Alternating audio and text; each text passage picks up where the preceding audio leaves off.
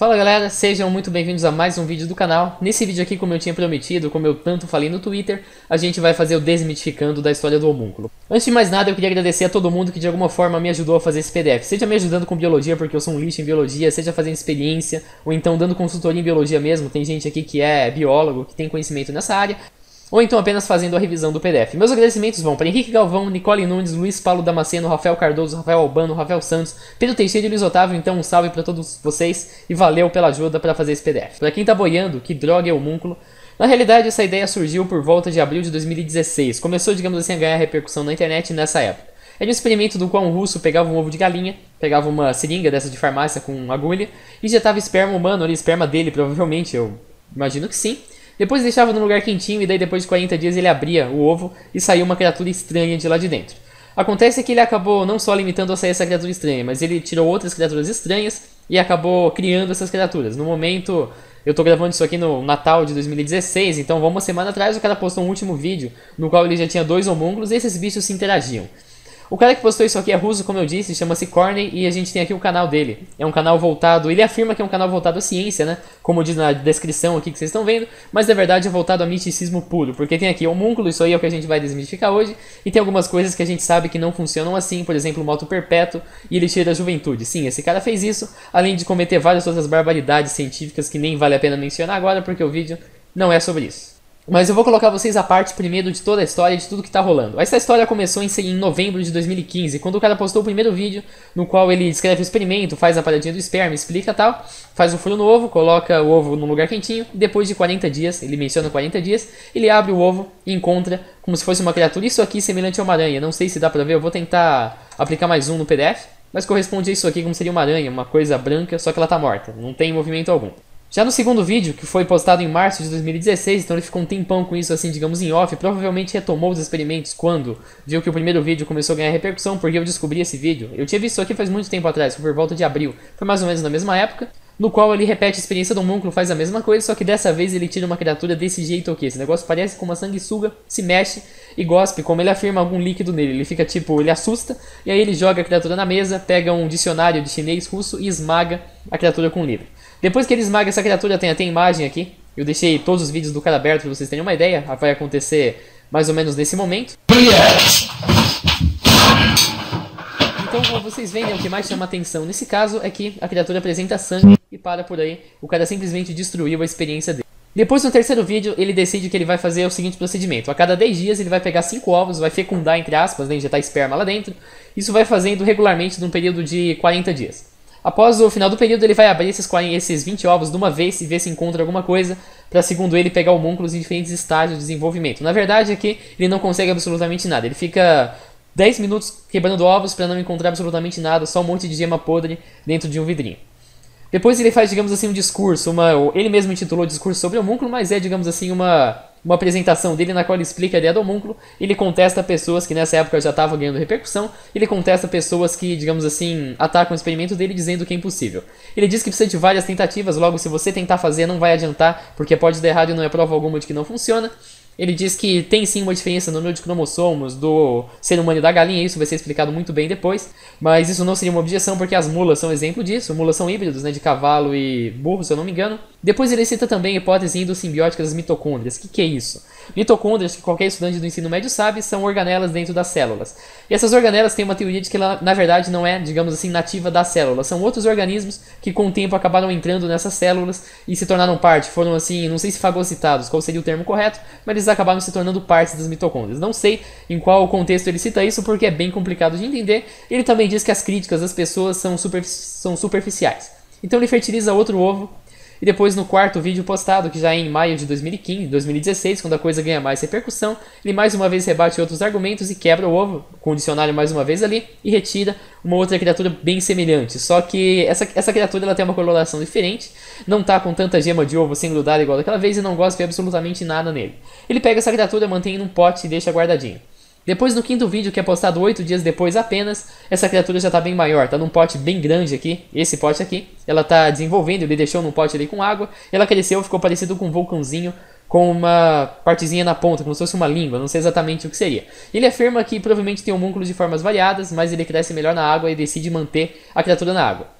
Logo em seguida, depois em junho de 2016, o vídeo também está aqui, corresponde ao vídeo homúnculo hashtag 6. Ele tem mais ou menos a mesma organização que eu apresento no canal. Ele tem aqui um homúnculo maior e ele decide que ele vai alimentar esse homúnculo. Não sei em que parte exatamente do vídeo tá, mas ele vai pegar uma bolinha de carne e vai dar a carne para o homúnculo de forma que ele vai, de alguma forma assim, digamos, engolir essa carne. E ele dá uma bolinha de carne ele, o homúnculo vai, digamos assim, puxar o pescoço, vai engolir a carne e vai ficar. Por isso mesmo, ele diz que ele, antes ele alimentava esse homúnculo com aqueles suplementos de academia, ele dilui e coloca na água, só que agora ele decidiu alimentar ele com carne. Logo depois, no sétimo vídeo, o autor vai apresentar um outro homúnculo, isso aqui, ele chamou de Slowpoke porque ele fica parado, segundo o autor, claro, ele está dentro de um vidrinho, e depois ele coloca o Pikachu num vidro bem semelhante, talvez até no mesmo, e ele afirma que o Pikachu apresenta atividade elétrica. Como que ele faz isso? Ele coloca o bicho no vidro, pega um voltímetro, coloca na posição para medir a voltagem da corrente contínua e coloca ali as duas pontinhas do voltímetro dentro da água e com isso ele afirma aí que ele produz corrente elétrica, portanto decide chamar o homúnculo de Pikachu. Já no oitavo vídeo é voltado ao desenvolvimento do Slowpoke. Ele tem aqui o Slowpoke, parece uma estrela do mar, e ele diz né, que o segundo homúnculo, que esse homúnculo cresceu depois que ele colocou no ambiente com água e começou a dar comida para ele,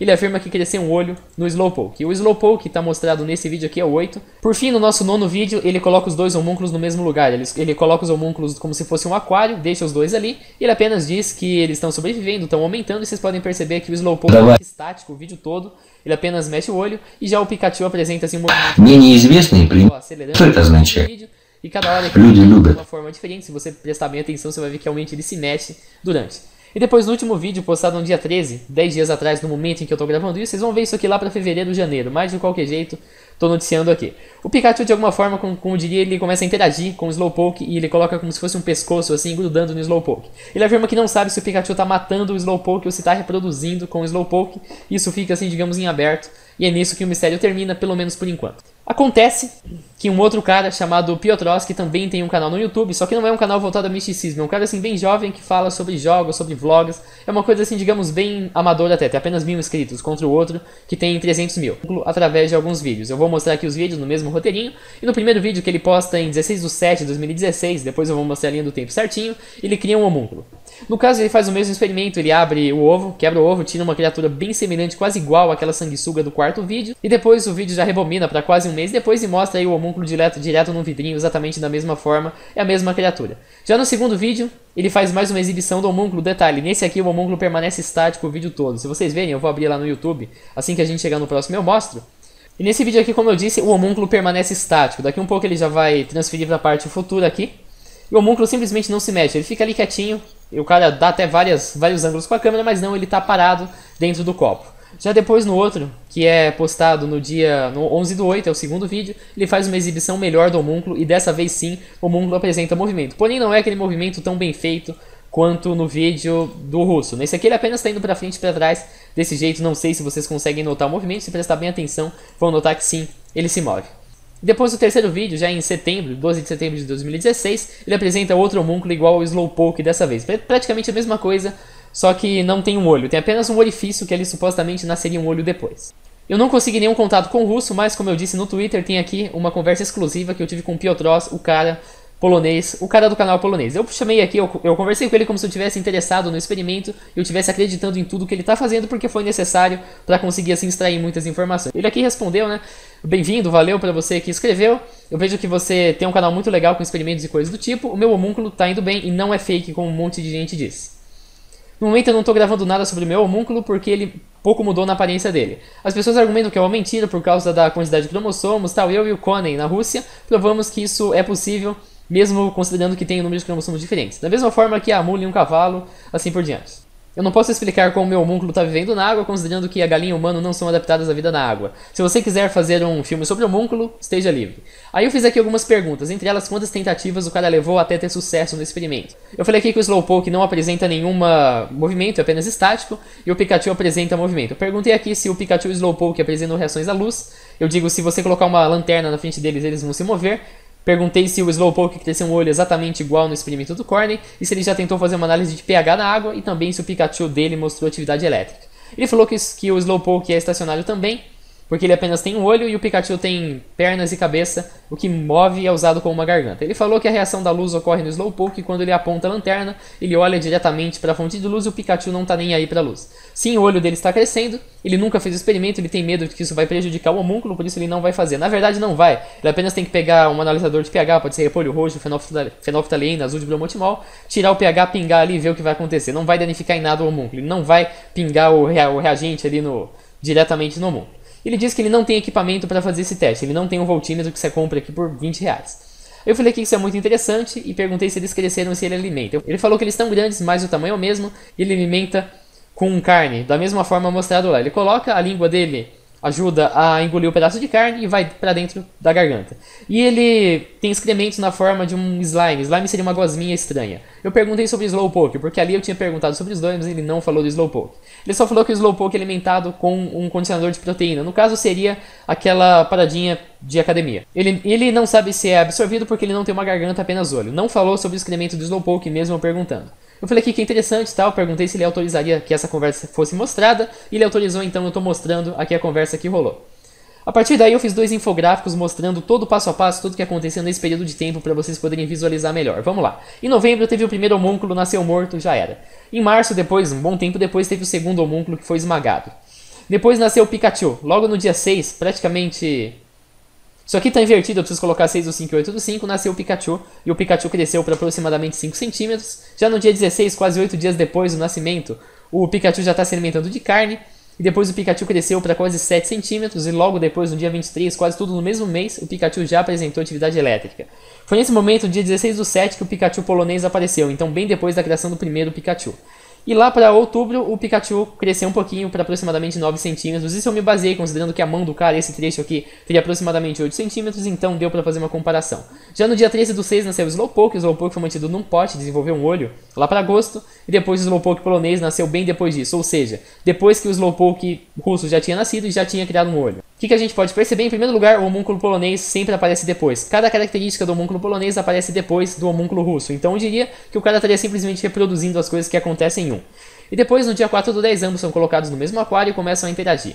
Esse infográfico aqui é mais focado no que, que os homúnculos desenvolvem. No caso esse aqui, o primeiro deles tem um sistema para cuspir líquido, tem sangue e tem movimento. Já o Pikachu tem atividade elétrica, aumenta muito de massa, é capaz de alimentar com carne e engolir. A implicância disso seria que ele tivesse um sistema digestório completo, ele inclusive teria excrementos, como dito lá em relação ao Pikachu polonês. Ele também reage a estímulos. Tem uma parte do vídeo que o cara bate no vidrinho e o Pikachu se move. Não mostrei aqui, mas acontece. Ele também tem movimento, assim como o primeiro. Já o Slowpoke também tem aumento de massa e nele surge um olho dotado de movimento. Então ele tem um olho, mais ou menos semelhante igual a um olho humano, e esse olho se move daquela forminha. Eu esqueci de colocar aqui que o Slowpoke tem também absorção de proteínas. Mas a partir daí a gente pode fazer uma tabelinha dizendo a função de cada criatura, quais funções biológicas cada criatura apresenta. O primeiro não apresenta nada, o segundo apresenta sangue, movimento e a função para cuspir aquele veneno, não sei exatamente o que seria, mas considera que para cuspir é um negócio bem complicado, alguns insetos têm por aí, mas não é uma característica que a gente vê em criaturas como poríferos, quinidários, são aquelas criaturas marinhas mais semelhantes ao homúnculo. Já o Pikachu tem sangue também, tem uma parte que ele afirma que o Pikachu apresenta veias, tem movimento, tem ingestão porque ele engole, tem sensibilidade tátil, você bate ali, ele se mexe, teria supostamente atividade elétrica, interage porque ele interagiu com outro com outro com, porque ele interagiu com outro homúnculo, tem excreção como dito lá, ele também tem absorção pela pele. Enquanto isso, o Slowpoke tem apenas sensibilidade luminosa, visão e também tem absorção pela pele. Já o Pikachu polonês tem movimento, ingestão, sensibilidade tátil, a mesma coisa, e também excreção e absorção. E por fim, o Slowpoke polonês tem exatamente a mesma coisa do Slowpoke russo. Agora que a gente já ficou quase metade do vídeo falando sobre como o homúnculo foi feito, quais as características de cada um, vamos para a desmistificação em si. Toda essa explicação foi necessária porque se eu começar a falar aqui vai ter coisa que ninguém entenderia se não tivesse essa introdução aqui. Mas vamos começar. A primeira explicação, que é justamente a impossibilidade do homúnculo, é uma coisa tão simples que acho que qualquer estudante de ensino médio, segundo ano pelo menos eu aprendi, deve saber isso. Todos os, seres, todos os seres vivos possuem cromossomos, que são sequências de DNA que contêm genes e outras sequências de nucleotídeos. No caso de organismos eucariontes, ou seja, seres humanos, galinha, por aí, os, os cromossomos são as estruturas lineares de DNA na forma de dupla fita. Vocês devem lembrar dessa imagem. Normalmente é encontrado perto do núcleo das células, podendo também estar associadas com proteínas e o RNA. A questão é, isso aqui nem é tão importante, mas cada organismo possui um determinado número de cromossomos. Então aqui tem uma tabelinha com o número de cromossomos de algumas espécies, humano, bovino, suínos, cães, gatos, equídeos. O que é importante pra gente? O humano tem 46 e o, coelho, e, a, e o frango tem 78. Dois organismos saudáveis da mesma espécie devem ser capazes de reproduzir, cruzar entre si e, com, portanto, gerar um descendente fértil, ou seja, um descendente que também é capaz de cruzar e, com isso, perpetuar espécies. Já em organismos de espécies diferentes, não tendem assim naturalmente a gerar descendentes, eles não tendem a cruzar. Mas o ser humano pode acabar forçando isso, só que para isso acontecer tem algumas condições. Em primeiro lugar, o número de cromossomos tem que ser semelhantes. Em segundo lugar, tem que ter uma certa proximidade evolutiva, isso a gente vai explicar lá para baixo.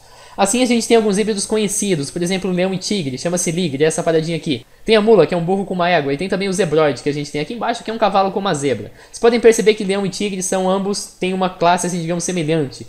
A zebra, o cavalo e a zebra também, assim como o burro e a égua estaria aí na mesma, na mesma categoria. Já as galinhas e os seres humanos não têm absolutamente nada a ver em relação ao número de cromossomos. O humano tem 46, o frango tem 78. Não sei se vocês aprenderam também questão de haploidia e diploidia, mas você, por exemplo, você é diploide, você tem aí os seus 46 cromossomos. Agora, o seu espermatozoide, o seu óvulo, se você for homem ou uma mulher, respectivamente, vão apresentar na forma N, ou seja, vão ter apenas a metade de cromossomos. No caso, vocês vão ter 23 cromossomos. O seu espermatozoide tem 23 e o óvulo também tem 23. Já na galinha também tem o mesmo sistema. A galinha em si é diploide e já o óvulo da galinha é haploide. Ou seja, o óvulo da galinha tem 39 cromossomos. Imagina o que vai acontecer se a gente tentar juntar, juntar os dois. A dupla fita do DNA simplesmente não vai se encaixar e não vai acontecer nada. Não vai gerar um híbrido, sequer vai gerar um híbrido fértil, sequer vai produzir alguma coisa, esse embrião sequer iria se desenvolver. Essa diferença então é grande demais para que ocorra a hibridação. Além disso, dentro da biologia tem o conceito da proximidade evolutiva. Para Darwin, para a biologia em geral, seres vivos apresentam um ancestral em comum. Dois seres vivos, por exemplo, o macaco e o chimpanzé, podem apresentar um ancestral comum, que seria relativamente próximo ou distante dependendo desses dois seres vivos. Um ser humano e um peixe, por exemplo, têm sim um ancestral comum, mas é uma coisa muito lá para o fim da árvore evolutiva. Nessa imagem aqui eu não sei se isso aqui seria chamado no termo correto de cladograma ou árvore evolutiva, mas a gente tem marcado aqui onde estariam as galinhas na seção dos pássaros, onde estariam os seres humanos, a setinha em verde depois eu explico, e aqui a gente tem um primeiro ancestral comum das galinhas e dos seres humanos. Vocês podem ver que se for subindo aqui a árvore, você vai ver que o primeiro ancestral comum só vai aparecer aqui e segundo a legenda, o B é um ancestral hipotético. Isso aqui seria uma das características que tanto as galinhas quanto o ser humano partilham. No caso, por exemplo, vamos colocar aqui placenta. A galinha não tem placenta, então está bem longe e a galinha não está dentro dessa ramificação e assim por diante. Você que estudou biologia deve entender. Agora vamos citar, por exemplo, eu marquei aqui no caso da vaca e do boi bisonte europeu. Esses dois estão exatamente no mesmo lugar, por isso é possível gerar um híbrido. Tem um híbrido, basta você pesquisar por aí. Eles estão exatamente no mesmo gênero, estão dentro ali. Não sei se seria gênero a classificação correta, mas eles estão na mesma árvore, estão no mesmo lugar. Esse é o conceito de proximidade evolutiva que é necessário para que ocorra a hibridação.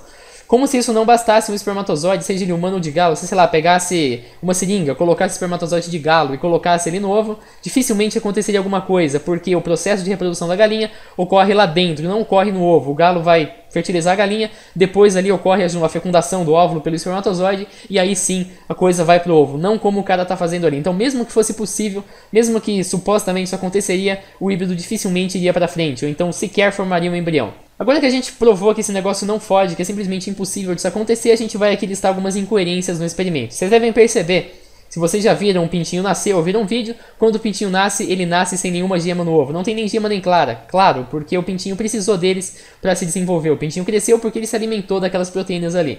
Já no caso do homúnculo, o homúnculo nasce, está grande e mesmo assim tem um considerável volume de gema dentro do potinho.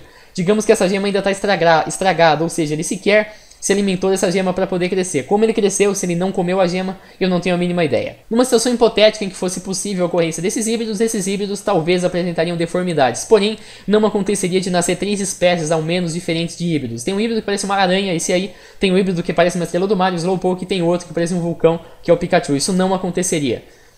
A gente pode também voltar nos infográficos lá atrás, não sei se você prestou atenção aqui, mas podem perceber que o tempo de incubação também é muito relativo. Esses dois ficaram por 40, esse outro ficou por 10. O Slowpoke ele sequer fala quanto tempo ficou incubando, mas cresceu significativamente num período de 7 dias. Então uma coisa assim, digamos, muito subjetiva. O cara não documentou corretamente como deveria ser feito numa situação científica, e uma incubação de 10 dias ou de 40 aos duas seria bem improvável. Outra coisa interessante é que o Slowpoke desenvolveu num período de 76 dias, como eu mostrei ali, não somente um olho, mas também uma pupila e todo um sistema nervoso para detectar os impulsos fotoelétricos e com isso mover a pupila. A gente pode, se a gente pesquisar, vocês vão perceber que o desenvolvimento do olho num feto humano leva no mínimo 4 meses. Isso quatro meses não num substrato ali com um suplemento de academia, mas dentro da barriga da mãe, tendo acesso aí a todos os nutrientes através da placenta que a mãe possui.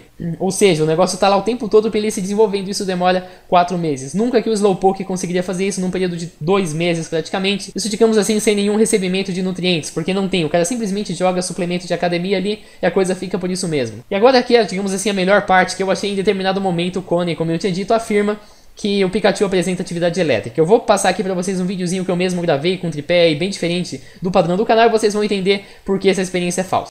A experiência do homúnculo russo, na qual ele afirma né, que tem uma diferença de potencial, portanto que o homúnculo está soltando descargas elétricas na água, foi feita utilizando um aparelho desses aqui. Eu vou aproximar para ver se eu consigo focalizar e vocês conseguem ver melhor o que eu quero mostrar.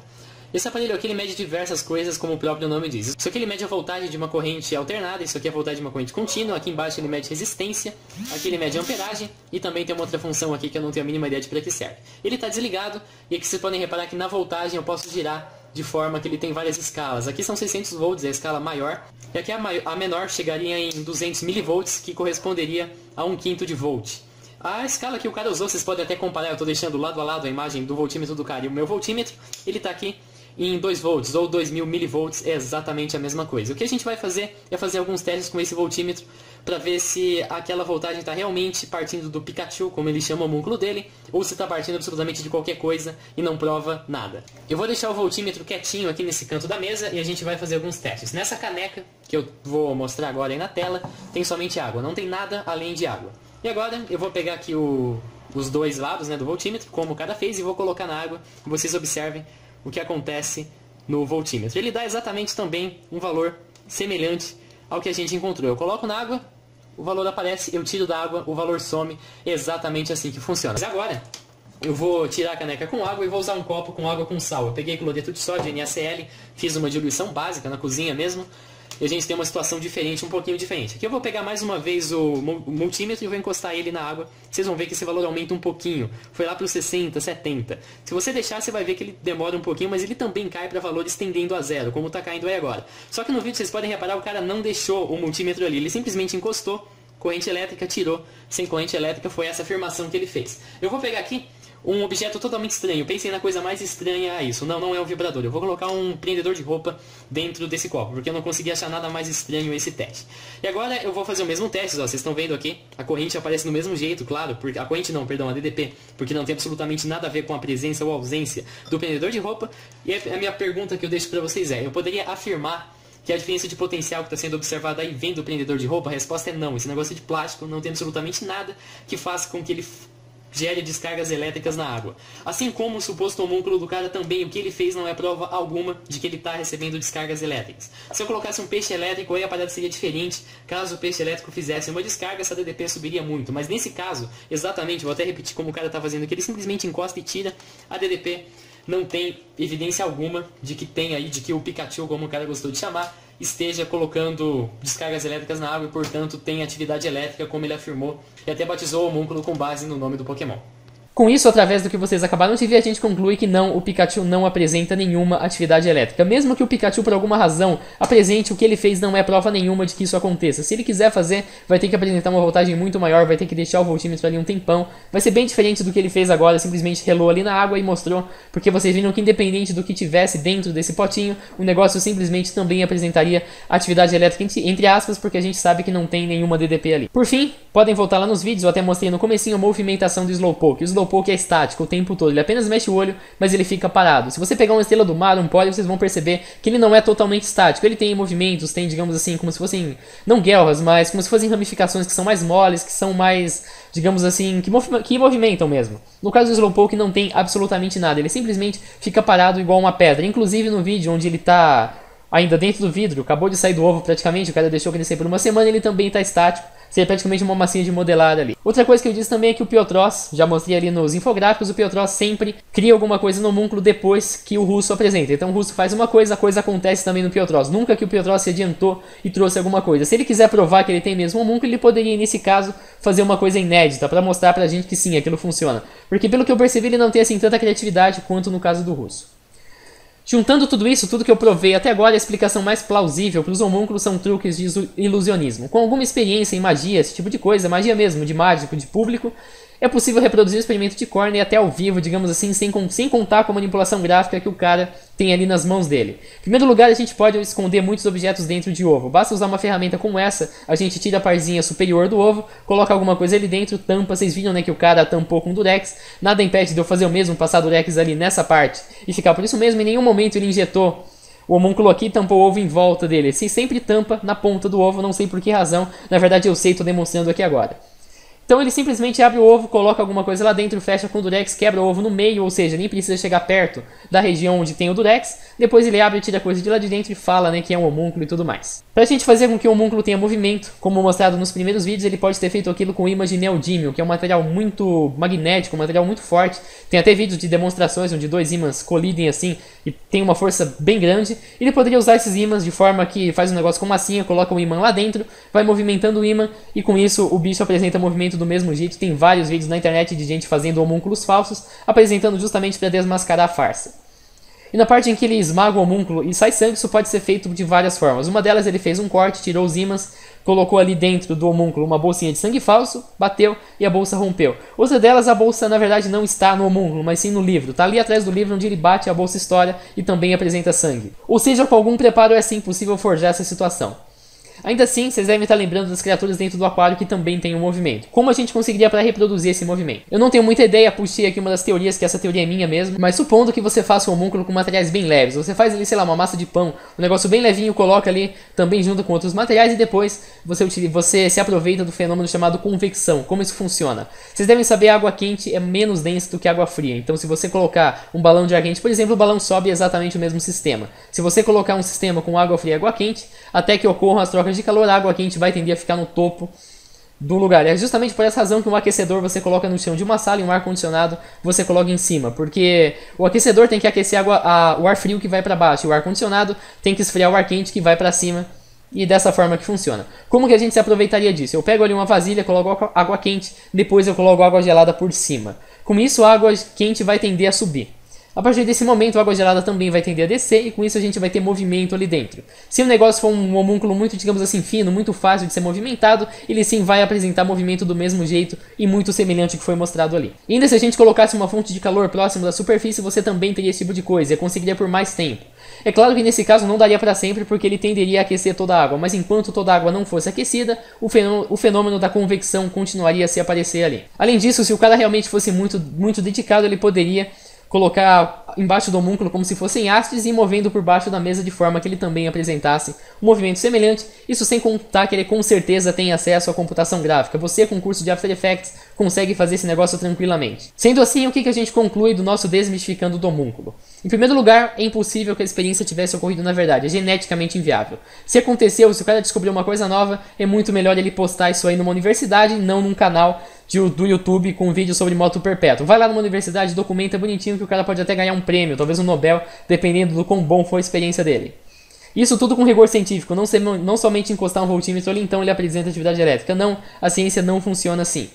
Além disso, as experiências se devem reparar apresentam um roteiro cinematográfico. Num dia os homúnculos estão lá, depois ele cresce, depois ele dá choque, depois ele engole o outro. É um roteiro muito assim, digamos, uh, como se fosse preparado, como se estivesse assim programado para acontecer. A ciência também não funciona assim. Por fim, tudo que o cara mostrou é possível através de ilusionismo. Espero que vocês tenham curtido esse vídeo. Se inscrevam no canal, deixem um joinha que em breve a gente se vê. Falou!